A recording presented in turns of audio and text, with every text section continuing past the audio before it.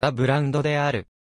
終戦後も外国資本であったので、東ドイツ時代にあってもベブに再編されることはなかったが、国策により1970年にベブペンタコン、ドレスデンに吸収され、その後は、ペンタコンが設計開発生産を行った。普及機であるエクサについても合わせて解説する。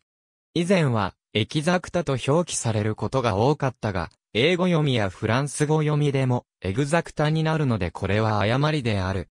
スタンダードエクサクタレンズマウントは、ファイ 38.2mm 3本爪バヨネット、式右回り1、4回転のエクサクタマウントで、事実上の世界統一規格の一つとなり、多数のメーカーが、レンズ製品を製造した。カメラ製品でも東京工学機械が、トップコン R シリーズに、マミヤ後期がマミヤプリズマットシリーズの一部に採用した。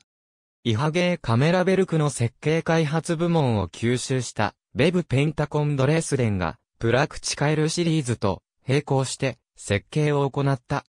金属膜フォーカルプレーンシャッター、TTL 露出系、自動絞り付きレンズのための内部機構、現代的な外観というプラクチカエルシリーズの特徴が継承される予定だった。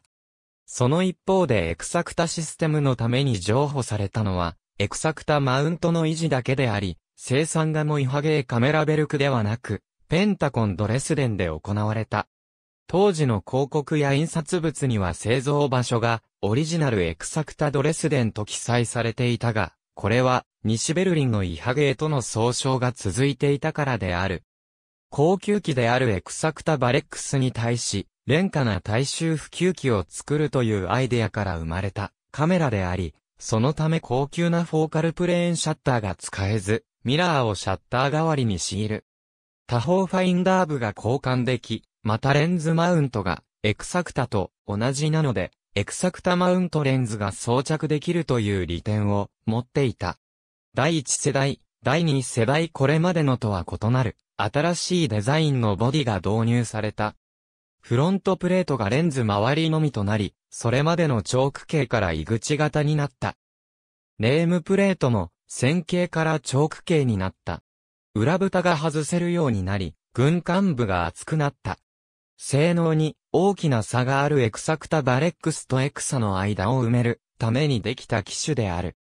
1、2から1、250秒までのフォーカルプレーンシャッターを装備し、エクサクタバレックスのすべてのレンズが装着できた。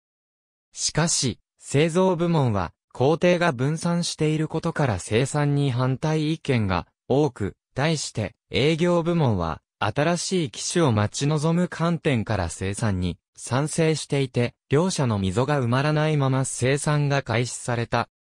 その後ボディや裏蓋をエクサと統一することが決まり、合理化効果も現れてきたことで、反対意見は小さくなっていった。交換レンズについては、M42 マウントのエクサ IB、エクサ IC については、M42 マウントレンズの一覧を、それ以外の機種については、エクサクタマウントレンズの一覧を参照のこと。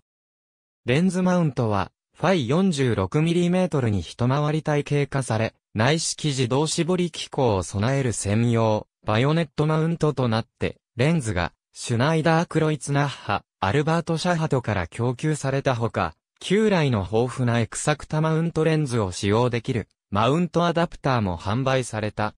ありがとうございます。